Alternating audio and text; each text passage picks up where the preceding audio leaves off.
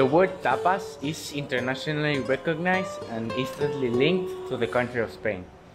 It is now one of the most known dishes of the Spanish cuisine, and for centuries it has influenced our own culture.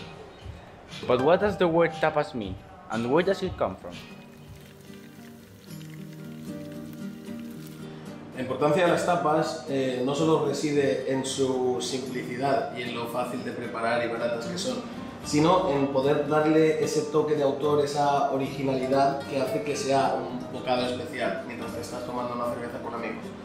Entonces, por ejemplo, algo tan simple como una rodaja de queso en una rebanada de pan, con añadir aceite de oliva, le damos ese toque brillante y el sabor inconfundible del oro líquido español.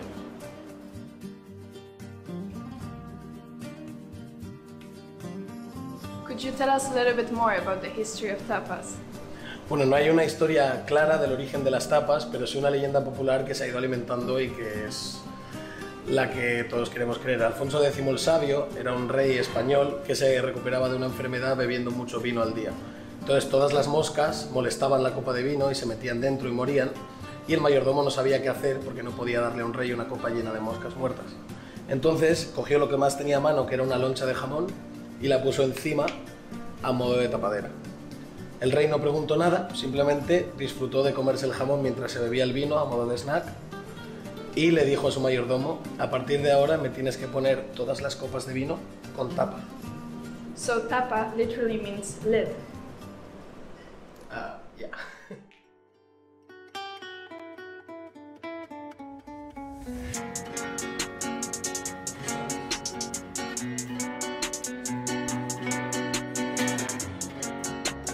bombs, beats.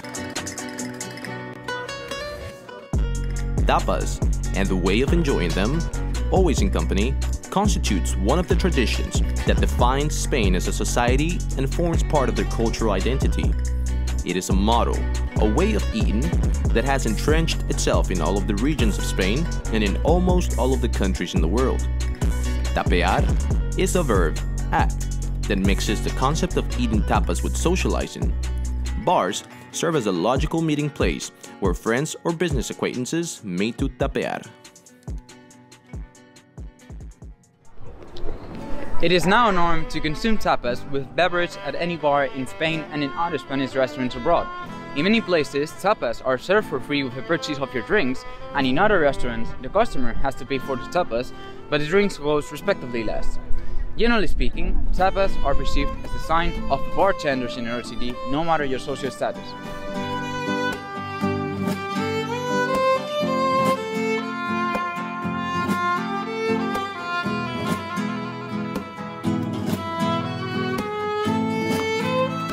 Every year, many tourists flood the streets of Spain in the summer.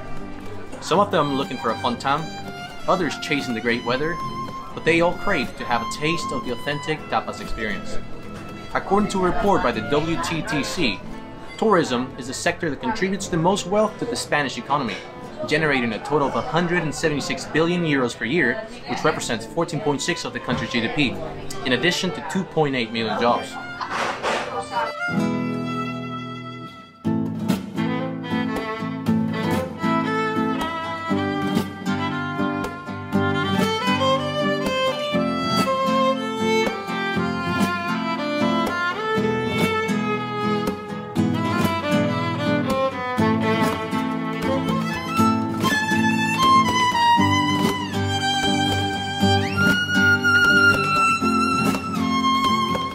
In conclusion, Tierra Tapas is simply much more than just eating food. It is a long-time cultural Spanish event that is deeply embedded into their lifestyle. If you're doing business with a Spanish company or individual, setting up a meeting at a bar for tapas might seem informal to a foreigner. However, the Spanish will see this as an act of respect and appreciation for their culture, whilst making them feel comfortable in a familiar environment.